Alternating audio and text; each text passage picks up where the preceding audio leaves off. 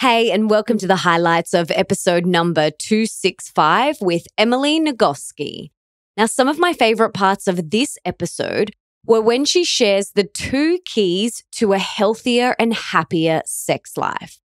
I also loved it when she spoke about how couples sustain a strong connection over a long period of time.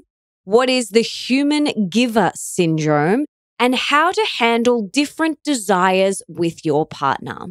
But there is so much more wisdom, knowledge, and inspiration that you get in the full episode.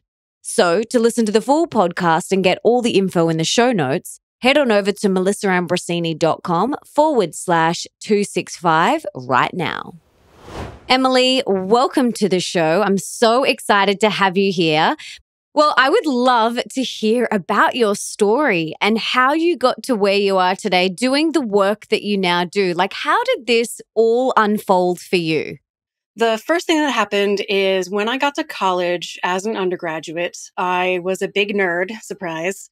Um, so I knew I was going to go to grad school for something. I had no idea what, but I thought, oh, well, I need volunteer work on my resume to make me look like a good candidate for grad school. I was thinking as a first year student. Um, and so a guy on my floor suggested, hey, come be a peer health educator with me uh, go into residence halls and talk about like all kinds of health topics. And I was like, I like health, sure. Uh, so I applied and I got accepted and I got trained to go into residence halls and talk about contraception, condoms, and consent, basically. So I started my work as an undergrad sex educator my very first semester in college. Uh, and then the other thing that happened is that over the years of my undergrad, I got a degree in psychology with minors in cognitive science and philosophy, uh, which I genuinely do use and I love the brain stuff. I had this plan to be a clinical neuropsychologist. I was going to work with people with traumatic brain injury and stroke. But as much as I loved the academic work and the intellectual stuff, it just, the work I was doing as a sex educator and then as a sexual violence prevention educator, and then as a sexual assault crisis responder, that work made me like who I am as a person. In a way, the the work I was doing as a sex educator, sexual violence prevention educator, and then as a sexual violence crisis responder made me like who I am as a person in a way that the intellectual academic stuff just never could. So that's the path I chose. And so I was like, okay, so I have this clinical background, but I'm not going to be a therapist. So let me keep going to school. So I got a PhD basically in public health and became a sex educator. I got a job at Smith College, which is a small liberal arts college in Western Massachusetts. So after this really demanding semester, the last question on my final exam was out of all this science, just tell me one important thing you learned. And out of my 187 students, more than half of my students just wrote something like, I learned I'm normal. Just because I'm different from other women doesn't mean I'm broken. I can trust my body because my body is normal. And that's the day I decided to write Come As You Are. A mere four and a half years later, it was published as a book. I would love to hear, you know, you talk about these keys to healthier and happier sex lives. So, what are they?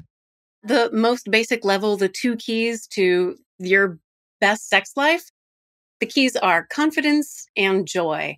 Confidence is knowing what is true about your body, about the world, about your sexuality, even when it's not what you were taught was supposed to be true, even when it's not what you wish were true. Confidence is knowing what is true about you in the world.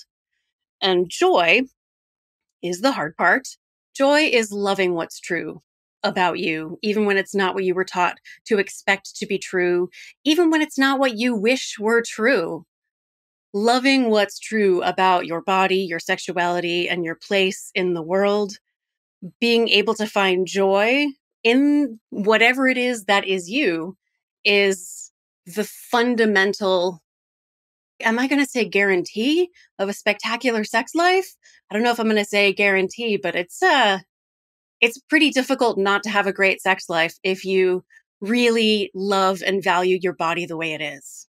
So, for people who are in long term relationships, how do we sustain that strong sexual connection over that long term? You know, you talk about these two Mm-hmm. important ways that we can do that.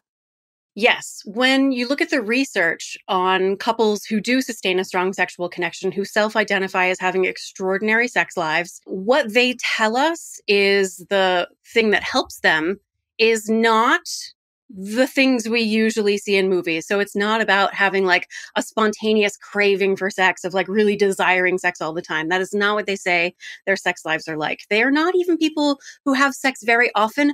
Hardly any of us are having sex very often. We have a lot of other things we need to get done. And so there's only a limited amount of time we can invest in sex. And they're not couples who are necessarily having what we might think of as like wild adventurous sex. They instead are couples who have two things in common. First, they have a strong foundation of trust in their relationship. They're really good friends. And in sexuality, the trust is really important because, I mean, geez, you're going to be potentially taking off some clothes and letting them see parts of your body almost no one else will see. You've got to really know that person is going to be emotionally accessible, responsive, and engaged with you. So trust is really essential. And the other component is, man, when you think about it, it's so obvious. They prioritize sex. They decide that it matters for their relationship, that they're willing to stop everything else and just do that. So, what this looks like in practice is that they set up times to have sex. They know, you know, Saturday at three o'clock, you, me, in the red underwear. Totally. But for someone listening who is thinking, yeah, but I don't trust my partner. Like, where to from there? Like, I don't feel safe with them. Yeah. That's a really fundamental issue. It's not a sexual problem, it is a relationship difficulty. And the solution for it does not lie in any kind of sexual contact you can have. The, the sex has to emerge in response to the trust. So if you don't trust your partner to be there for you, you definitely can't trust them to be there for you for sex. Why would you? What about for someone who, you know, you spoke about prioritizing it? And that's something that's really important in my partnership.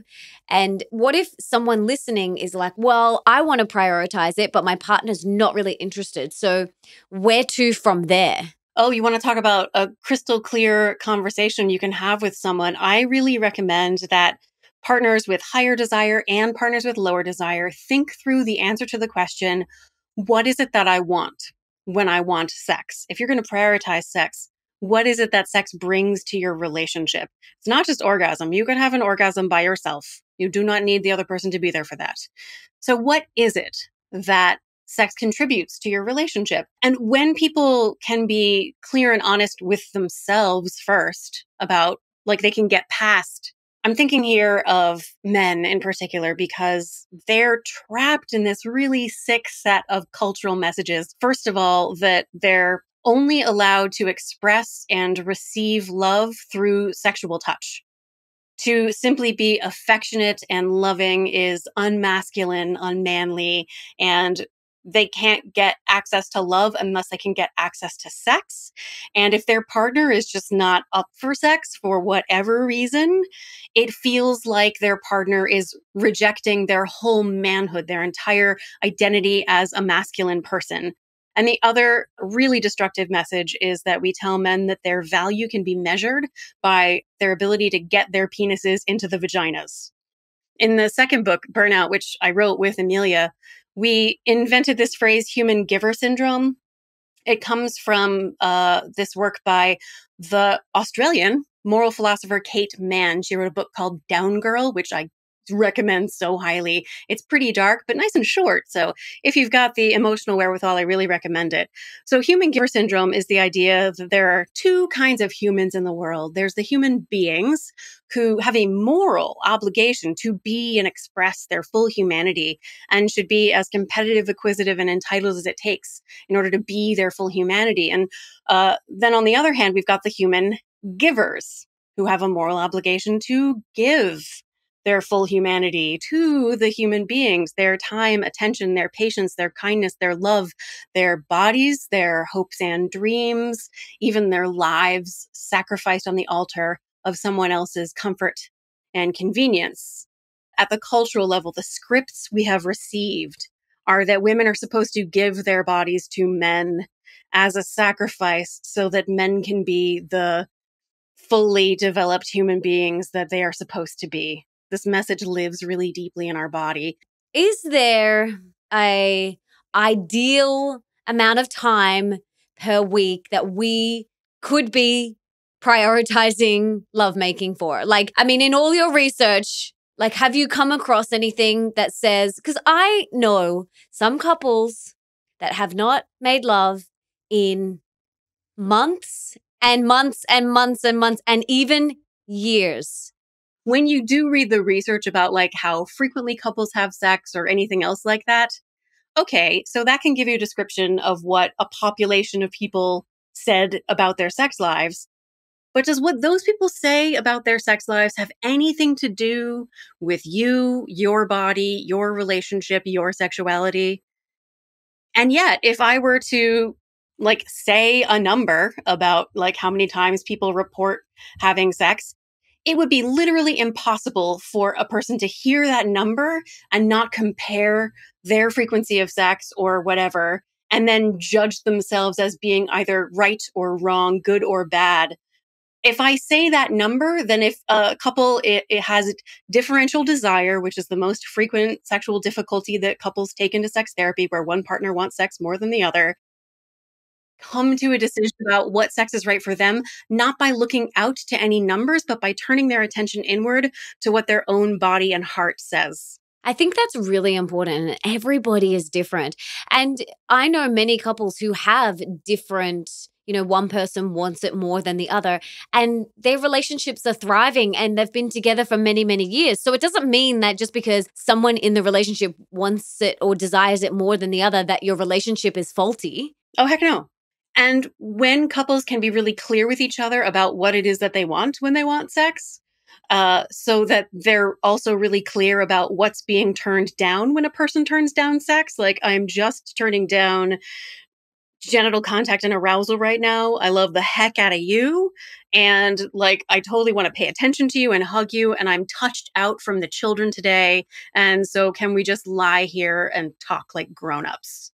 That's not turning down the person it's not turning down the love it's just like my body is not where it could be to make sex happen right now now i want you to talk to us about unwanted arousal oh yeah yes please you have a special name you call it so the technical term for it is arousal non-concordance, which sounds real fancy and intimidating, but non-concordance just means that there is a mismatch between what's happening in your physiology and what's happening in your subjective experience of pleasure and desire. And it happens in every emotional and motivational system that we have, including sex. My favorite non sex example is actually a study of music. You know the feeling of uh, goosebumps or you get chills, chills run down your spine? The physiological marker for that is called piloerection. It's where your hair stands on end. So they did a study where they found out that there are certain songs that predictably produce chills. For example, My Heart Will Go On or uh, Purple Rain. And they played this music to research subjects and they literally just had a camera watching the hair on a person's arm. And they watched whether or not their hair stood on end. And then they asked them the question, Hey, did you get chills when you were listening to it. And it turns out there is not a significant relationship between whether a person says they got chills from the music and whether their hair stood on end. This is an example of arousal non-concordance, a mismatch between a person's subjective experience and their physiological response. But if you are Celine Dion, which matters to you? Do you want people to walk out of the theater going, eh, it was fine, but their hair stood on end? Or do you want them to walk out of the theater going, oh, I got chills. It was amazing. And who cares what their hair was doing? Right? Like, obviously, it's the person's subjective experience that matters. And we're really good at understanding that it's the subjective experience that matters until we learn that this also applies to sex. So instead of it being about piloerection, it's just about erection, erection. It's about blood flow to the genitals. It turns out there is not necessarily a significant correlation between what a person's blood flow is doing and how a person subjectively feels. And we live in a world where somehow people who are perfectly capable of understanding that if you feel like you got chills, you got chills, regardless of what your hair did. They sort of can't wrap their heads around the idea that, like, it doesn't matter if a person's vagina is wet. It doesn't matter if their penis is erect. If they're like, nah, this isn't working for me. When a person says it's not working for them, eh, no matter what their genital blood flow is doing, you believe the person. The subjective experience is definitely right. I would never like bite into a apple and find out it's got a worm in it, but my mouth still waters. And people would be like, well, you just don't admit how much you like that wormy apple, Emily, because my physiological response happened. Such an important point. And I can see how important this is to talk to our children about. Oh, yeah. Uh, and, you know, it, I feel sort of angry when I hear people say, I've never heard of this before because this research has existed since the early 80s. And even in the early 80s, researchers were warning within their research papers let's make sure we're not mistaking genital response for pleasure or desire. And it took 18 is when I did my TED talk, 40 years it has taken for this idea to even begin penetrating into the mainstream. And the reason these ideas are so slow to make their way into the mainstream is because we don't talk about it, because just bringing up the whole subject makes people go, ah! even just get, like I had to fight TED pretty hard to let me give this talk because it was so like I used the word clitoris. I talked about blood flow to the genitals. And the people at TED were like, I don't know if this is right for us. And I was like, well, this is the talk I'm going to give. So let's let's work it. Let's make it happen. And they were really supportive and helped me write my talk in a way that wasn't going to freak people out too much. But like it's difficult to talk about and it takes a really deliberate effort to make sure you have the conversation with people in your life. And we need to be having it in okay so part of the research i had to read for writing come as you are is i read 50 shades of gray how would you approach talking about this to teenage children? Because I know a lot of my listeners would have kids. How do we open up this dialogue with them? Yeah, actually, the most important thing, it's not so much about the precise words you say, the main thing is being able to modulate your body's own reaction to these ideas and saying these words and having the conversation. I will give you a, a, negative example and then a positive example. The negative example is my own family. My mom, who's great. The first time I ever asked her, we were in the car driving home from the library. I must have seen the word vagina in a book at the library because we're sitting in the car and I say, Hey, mom, what's a vagina? And I don't remember what she said, but I remember the huge flash of just embarrassment and horror. And whatever this vagina thing was, it was not something I should ever bring up ever again, ever. So the more you can work on making sure your emotional response to ideas around sexuality is neutral. And if I had asked, "Hey, mom, what's what's an elbow?" What does axillary mean? Oh, it just means armpit. Like if your emotional response can be the same to a question like, what's the technical word for an armpit? Or what's a philtrum? Oh, it's that divot between uh, the, the top part of your lip and your nose. If your emotional reaction to that is the same as your emotional reaction to sex related words and ideas, you're going to be doing just fine. The second part of it is you have to be willing to be the parent who receives the ugh mom gross. Like they they don't want to hear it from you. They're not going to you didn't want to hear it from your parents. But it is your job to show up and be the one who says hey listen condoms let's talk about it. Hey your genitals are a normal part of your body. So my positive counterexample comes from a therapist who participated in a training of mine. This was a few years ago and she's like i just have to tell you this story about my daughter from when she was two. She was on uh, a bouncy ball. Does Australia have bouncy balls, little like handle balls, and you like bounce up and down on them? Yes. So, two year old girl on a bouncy ball, and the little girl goes, Hey, mommy, this feels really good. and the mom says, Yes, honey, that's your clitoris. And the little girl says, My clitoris is my favorite. That story brings me so much joy and gives me so much hope for the future. Because we know at least this one human is being raised to know that her body belongs to her, all of it.